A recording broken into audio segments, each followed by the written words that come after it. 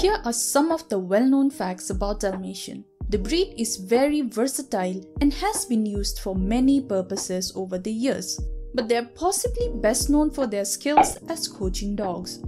The canines get along famously with horses, making them the ideal dog to run alongside carriages. The helpful Dals warded off stray dogs, guarded the coached stops, and most importantly, kept the horses calm. This job eventually translated to the firehouse where Dalmatians would run behind fire trucks. Their distinct features also make them a great mascot.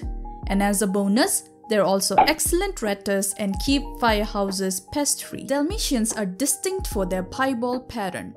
Usually, these spots are black or brown, but sometimes they can be lemon, blue, or brindle. Every Dal is different, but most have these marks all over their body. If you open up a Dal's mouth, you can even find spots in their mouth. Despite being covered in spots in adulthood, pups generally don't grow their trademark spots until about 4 weeks. Hearing defect in Dalmatians is however a lesser known fact. If your Dal seems to be ignoring you, it could be because it cannot hear you. Around 15 to 30% of all Dalmatians are inflicted with deafness as a result of their spotted markings. In this specific deafness, multiple genes are thought to be involved. This means the dogs can be completely deaf or only deaf in one ear, and deaf parents can have offsprings that are not deaf if all the associated genes are not inherited by the offspring. However, breeding deaf dogs, even those with deafness only in one ear, is not recommended. Inside a dog's ear, there is an organ called the organ of Corti. This converts sound waves into electrical impulses that travel to the brain and are processed as sound. In this type of genetic defect, the organ responsible for the conversion starts to degenerate in the first few weeks of life.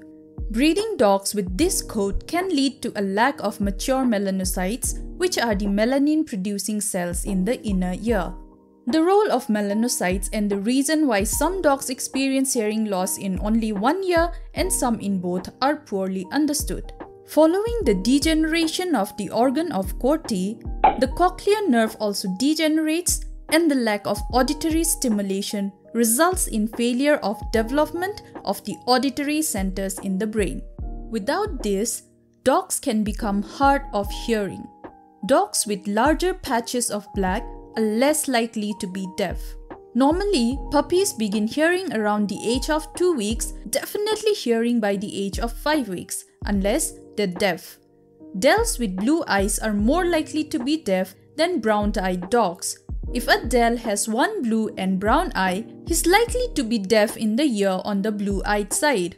Dals with primarily white coats and little spotting are also more likely to suffer deafness. Those dogs that only experience hearing loss in one ear are likely to be able to live a normal life. It has been found that females are also more likely to be affected than their male counterparts.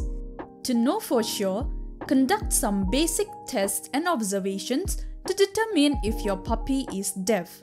If he ignores loud noises such as clapping, startles easily when you come behind him, sleeps excessively, or doesn't respond when you call or speak to him, suspect hearing loss.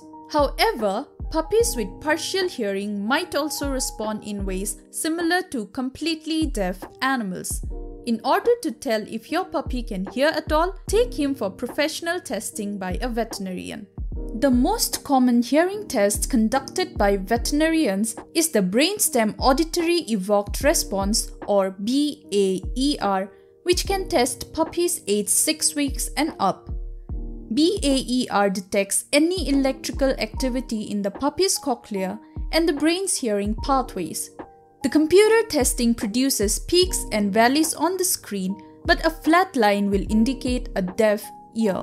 Find a trainer who can teach you and your dog hand signals of the voice commands. Make sure any fencing in your dog's yard or run is secure and escape proof.